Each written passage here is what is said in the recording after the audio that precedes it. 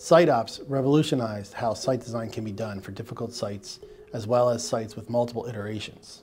The ability for us to provide multiple iterations of a site gives us and our clients a lot of tools to use in order to get the best possible site.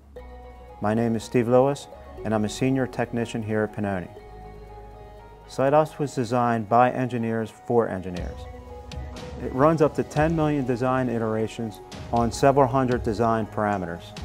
We here at Pennoni believe this is game-changing technology. The software interacts with Civil 3D as well as SketchUp and Revit and other softwares.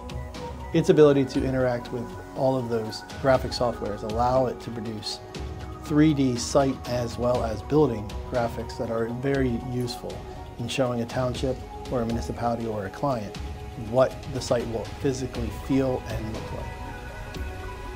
Inevitably, the multiple iterations of SiteOps allows the client to save money during construction.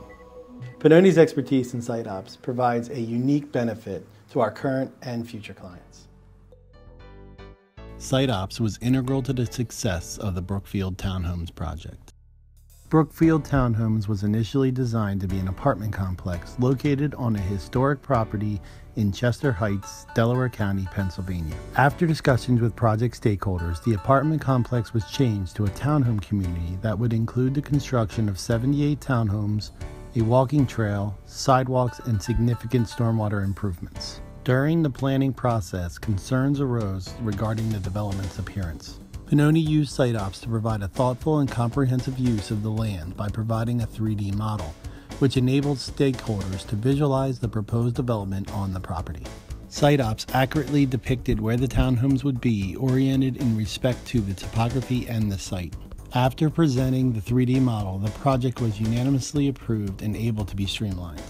Had it not been for the capabilities of SiteOps, the Brookefield Townhome project would have endured a much longer approval process.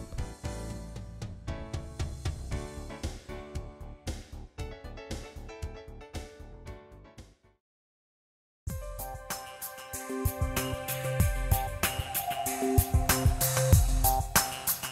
you